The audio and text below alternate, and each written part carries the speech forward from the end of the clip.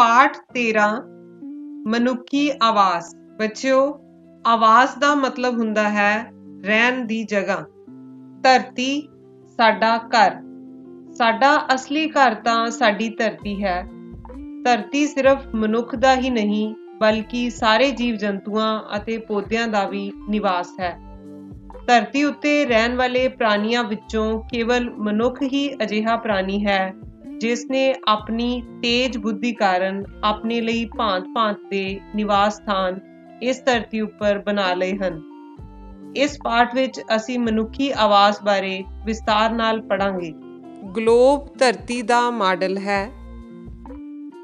ਆਦ ਮਾਨਵ ਦਾ ਨਿਵਾਸ। ਆਦ ਮਾਨਵ ਦਾ ਅਰਥ ਹੈ ਲੱਖਾਂ ਸਾਲ ਪਹਿਲਾਂ ਦਾ ਮਨੁੱਖ ਜੋ ਕਿ ਜਾਨਵਰਾਂ ਵਾਂਗ ਜੰਗਲਾਂ ਵਿੱਚ ਰਹਿੰਦਾ ਸੀ। ਉਹ ਦਰਖਤਾਂ ਦੇ ਪੱਤੇ ਅਤੇ ਫਲ ਖਾ ਕੇ ਜਾਂ ਸ਼ਿਕਾਰ ਕਰਕੇ ਆਪਣਾ ਗੁਜ਼ਾਰਾ ਕਰਦਾ ਸੀ। ਮੌਸਮ ਅਨੁਸਾਰ ਸਰਦੀਆਂ ਵਿੱਚ ਉਹ ਗੁਫਾ ਵਿੱਚ ਰਹਿੰਦਾ ਸੀ, ਜਦੋਂ ਕਿ ਗਰਮੀਆਂ ਵਿੱਚ ਉਹ ਦਰਖਤਾਂ ਥੱਲੇ ਸੌਂ ਕੇ ਗੁਜ਼ਾਰਾ ਕਰ ਲੈਂਦਾ ਸੀ। ਜਿਵੇਂ-ਜਿਵੇਂ ਉਸ ਦੀ ਸਮਝ ਵਿਕਸਿਤ ਹੋਣ ਲੱਗੀ ਉਸ ਨੂੰ ਆਵਾਜ਼ ਦੀ ਲੋੜ ਮਹਿਸੂਸ ਹੋਈ।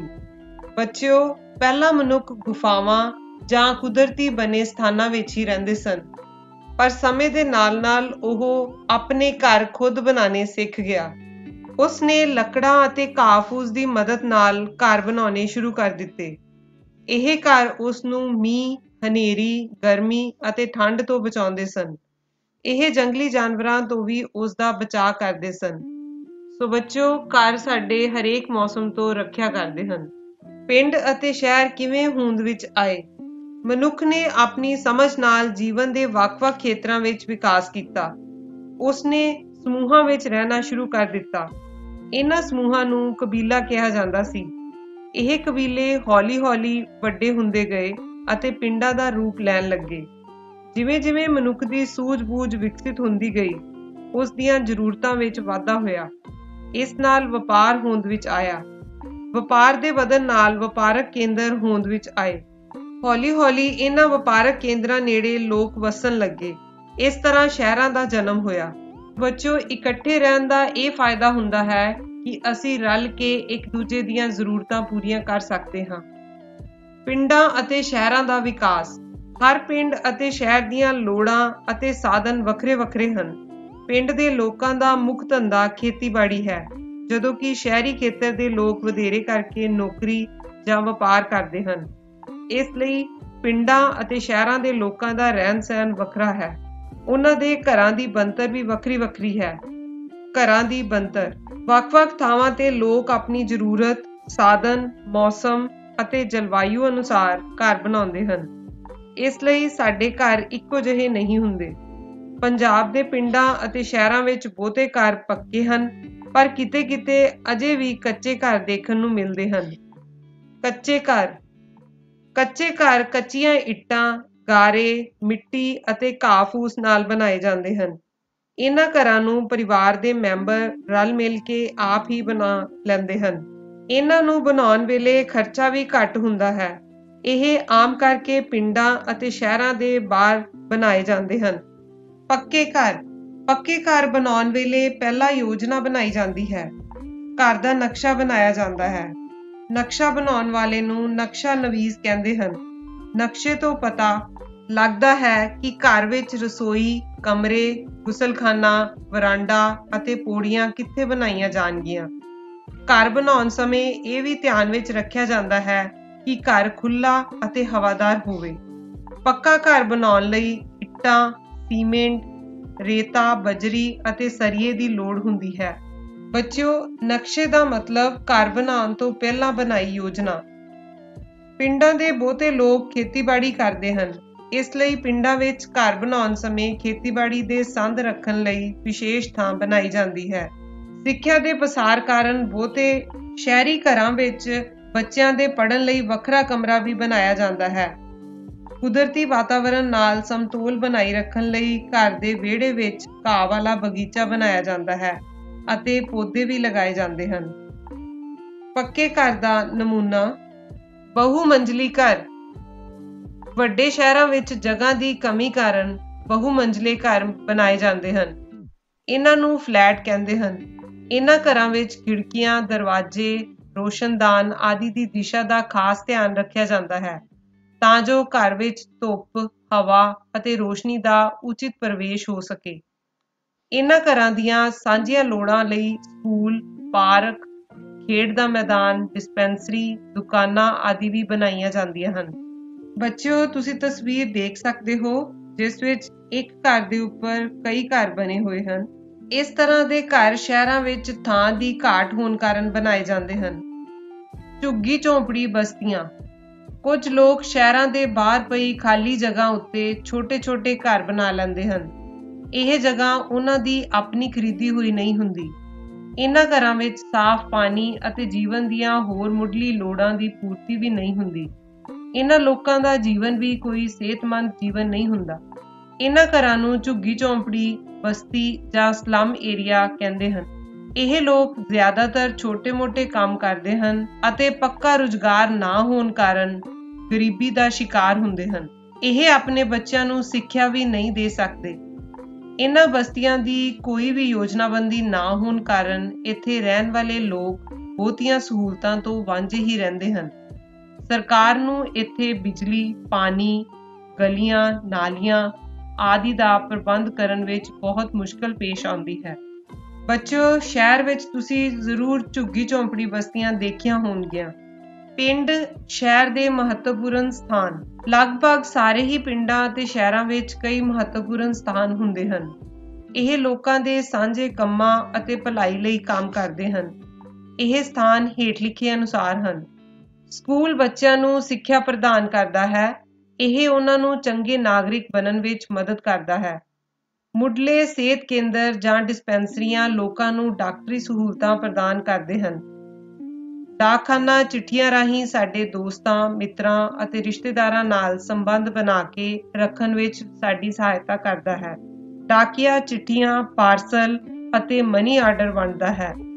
ਇਹ ਪਿੰਡ ਦੇ ਲੋਕਾਂ ਦੀ ਡਾਕ, ਮੁੱਖ ਡਾਕਘਰ ਤੱਕ ਪਹੁੰਚਾਉਂਦਾ ਹੈ।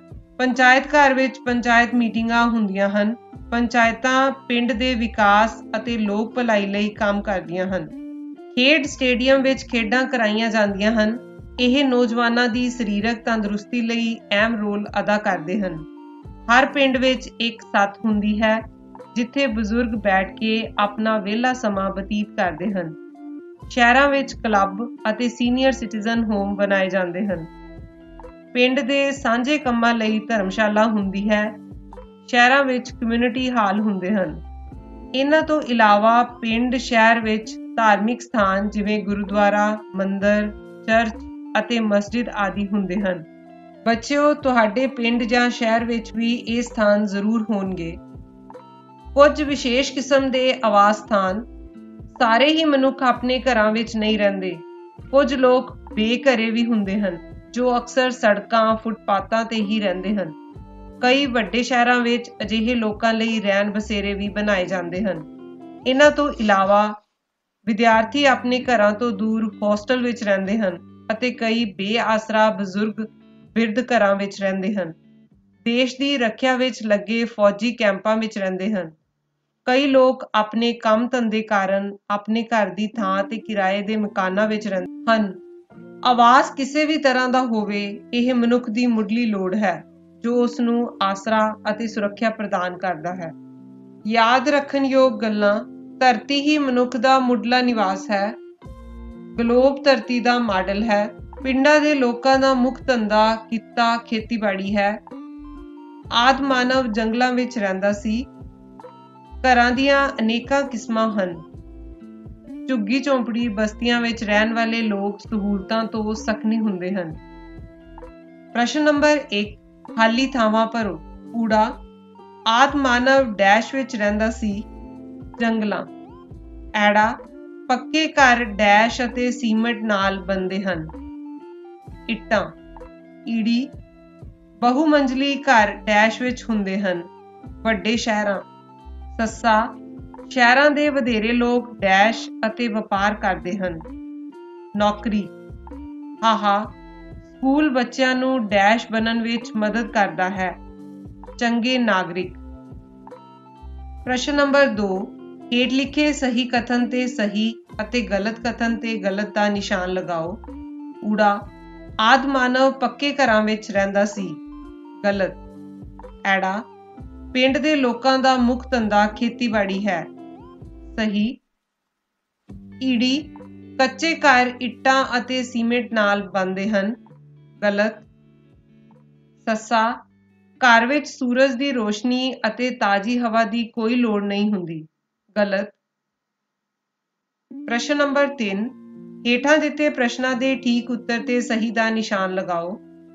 ਊੜਾ ਬਹੁ ਮੰਜ਼ਲੇ ਘਰਾਂ ਨੂੰ ਕੀ ਕਹਿੰਦੇ ਹਨ? ਫਲੈਟ, ਬਸਤੀ ਜਾਂ ਸਲਮ? ਸਹੀ ਜਵਾਬ ਹੈ ਫਲੈਟ। ਐੜਾ, ਪੰਚਾਇਤ ਦੀਆਂ ਮੀਟਿੰਗਾਂ ਕੀਤੀਆਂ ਜਾਂਦੀਆਂ ਹਨ। ਦਰਖਤ ਹੇਠਾਂ, ਪੰਚਾਇਤ ਘਰ ਵਿੱਚ ਜਾਂ ਡਾਕਖਾਨੇ ਵਿੱਚ? ਸਹੀ ਜਵਾਬ ਹੈ ਪੰਚਾਇਤ ਘਰ ਵਿੱਚ। ਈੜੀ ਪਿੰਡਾਂ ਵਿੱਚ ਸਿਹਤ ਸੇਵਾਵਾਂ ਪ੍ਰਦਾਨ ਕੀਤੀਆਂ ਜਾਂਦੀਆਂ ਹਨ। ਡਾਕਖਾਨੇ ਰਾਹੀਂ, ਡਿਸਪੈਂਸਰੀ ਰਾਹੀਂ, ਪਿੰਡ ਦੇ ਲੋਕਾਂ ਰਾਹੀਂ। ਸਹੀ ਜਵਾਬ ਹੈ ਡਿਸਪੈਂਸਰੀ ਰਾਹੀਂ। ਪ੍ਰਸ਼ਨ ਨੰਬਰ 4 ਫਲੈਟ ਕਿਸ ਨੂੰ ਕਹਿੰਦੇ ਹਨ? ਵੱਡੇ ਸ਼ਹਿਰਾਂ ਵਿੱਚ ਜਗ੍ਹਾ ਦੀ ਕਮੀ ਕਾਰਨ ਬਹੁ ਮੰਜ਼ਲੇ ਘਰਾਂ ਨੂੰ ਫਲੈਟ ਕਿਹਾ ਜਾਂਦਾ ਹੈ। ਪ੍ਰਸ਼ਨ ਨੰਬਰ 5 ਝੁੱਗੀ ਝੌਂਪੜੀ ਬਸਤੀ ਵਿੱਚ ਰਹਿਣ ਵਾਲੇ ਲੋਕਾਂ ਦਾ ਜੀਵਨ ਕਿਹੋ ਜਿਹਾ ਹੁੰਦਾ ਹੈ?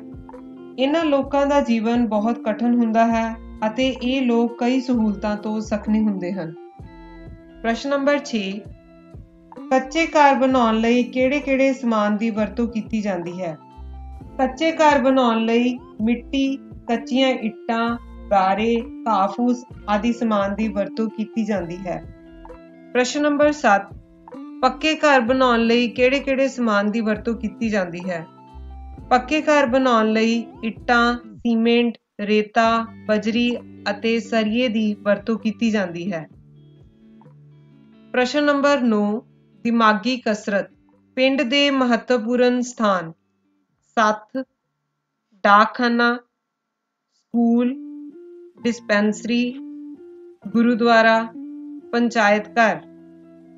ਸ਼ਹਿਰ ਦੇ ਮਹੱਤਵਪੂਰਨ ਸਥਾਨ ਕਮਿਊਨਿਟੀ ਹਾਲ ਹਸਪਤਾਲ, ਖੇਡ ਸਟੇਡੀਅਮ, ਡਾਕਖਾਨਾ, ਸਕੂਲ, ਗੁਰਦੁਆਰਾ ਜਾਂ ਮੰਦਰ ਸਾਡੇ ਦੇਸ਼ ਦੀ ਆਬਾਦੀ ਲਗਾਤਾਰ ਵੱਧ ਰਹੀ ਹੈ। ਇਸ ਲਈ ਵੱਧ ਰਹੀ ਆਬਾਦੀ ਦੇ ਰਹਿਣ ਲਈ ਵੱਡੇ ਪੱਧਰ ਤੇ ਇਮਾਰਤਾਂ ਬਣਾਈਆਂ ਜਾ ਰਹੀਆਂ ਹਨ। ਇਸ ਨਾਲ ਖੇਤੀਯੋਗ ਉਪਜਾਊ ਜ਼ਮੀਨ ਅਤੇ ਜੰਗਲ ਲਗਾਤਾਰ ਘਟ ਰਹੇ ਹਨ। ਇਸ ਤਰ੍ਹਾਂ ਦੀਆਂ ਹੋਰ ਵੀਡੀਓਜ਼ ਲਈ ਸਬਸਕ੍ਰਾਈਬ ਕਰੋ। ਧੰਨਵਾਦ।